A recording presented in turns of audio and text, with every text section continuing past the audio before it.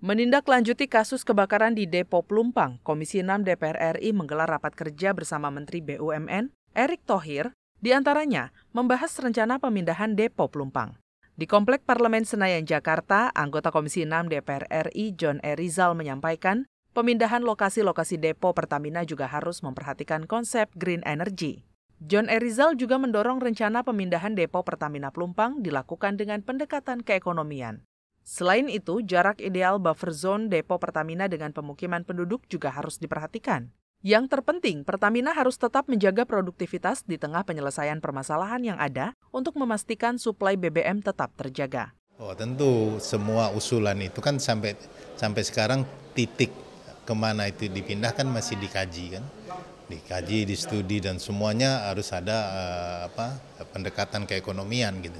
Jadi safety terutama, kemudian keekonomian juga kedua, kemudian prospek ke depan gitu loh. Jadi jangan sampai kita sudah bangun nanti ternyata tadi yang disampaikan green energinya kita tidak lakukan dari sekarang, kita tertinggal. Nah ini yang yang perlu. Nah kami sedang minta juga supaya ke mana dan apa reasonnya uh, untuk pindah tersebut, lokasinya dan seterusnya. Karena mereka juga harus uh, melaksanakan ini dengan dengan strategi yang jitu ya. Artinya jangan sampai salah lokasi yang sampai dan kami akan mengawasi hal itu tersebut secara detail.